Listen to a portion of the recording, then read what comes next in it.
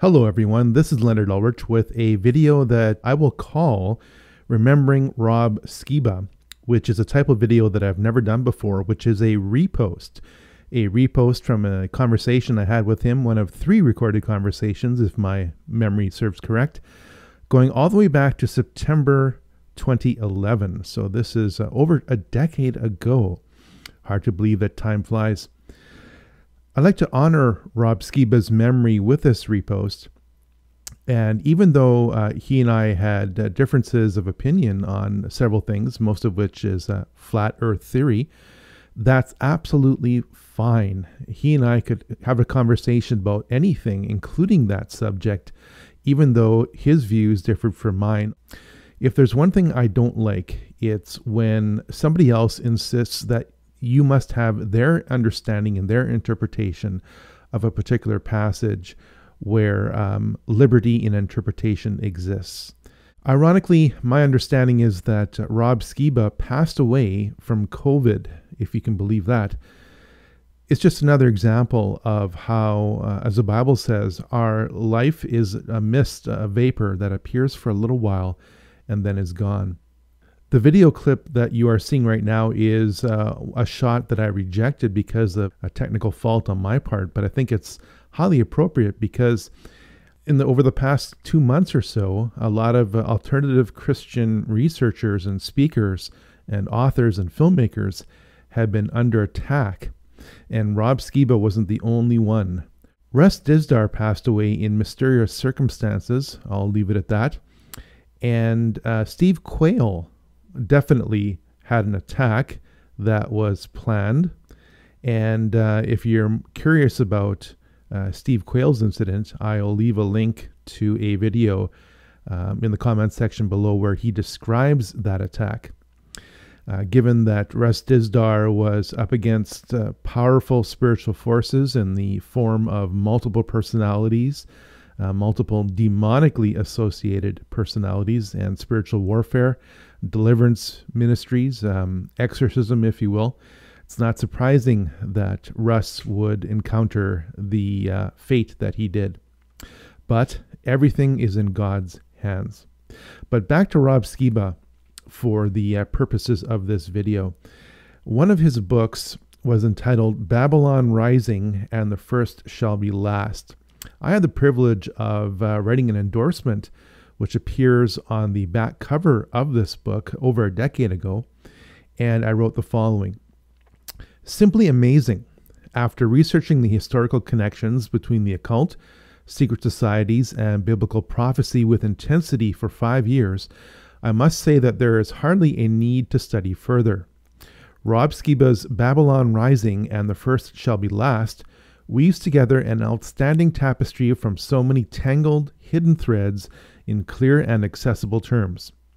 If you have ever been curious about the spiritual foundations of our current place in history, economics, politics, science, and prophecy, you have found the right book. It will renew your faith in spite of all the evil that it uncovers, which is the highest compliment that can be given. I am proud to endorse Rob Skiba's book over a decade later. The following conversation that we had um, in September 2011 is almost two hours long, so sit back and enjoy.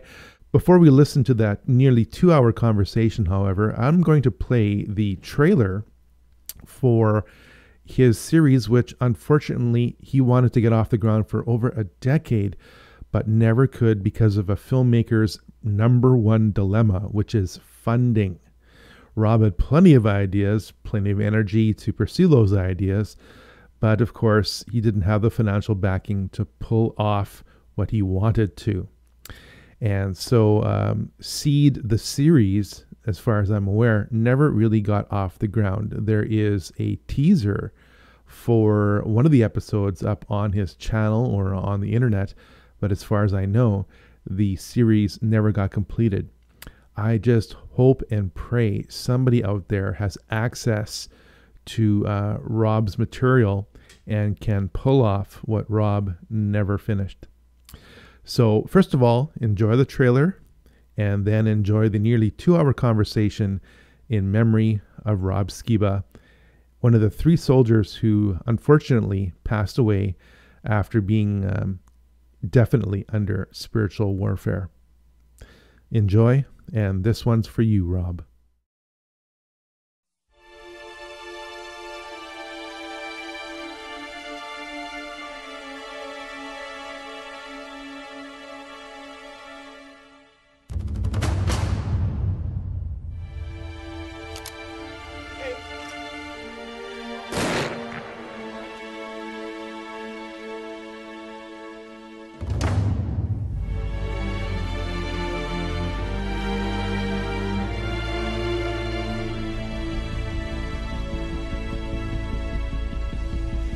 My name is Zach Randall.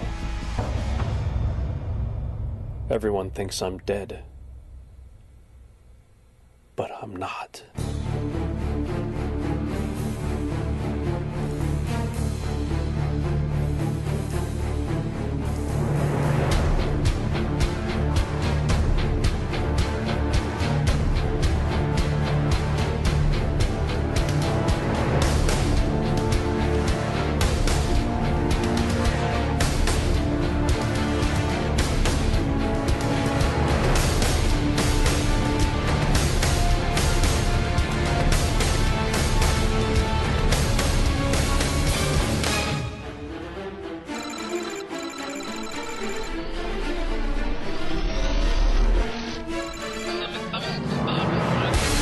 In December of 2002, my unit was sent to Iraq looking for weapons of mass destruction.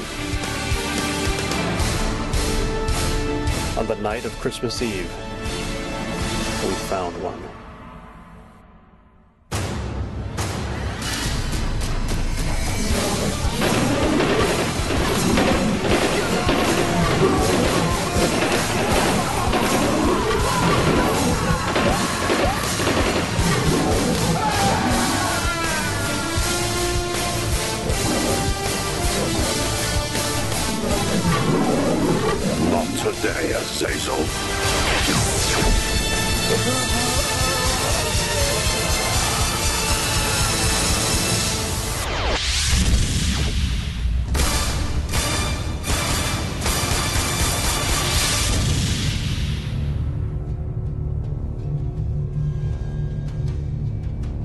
I don't know what happened to me that night, but my quest for answers begins here.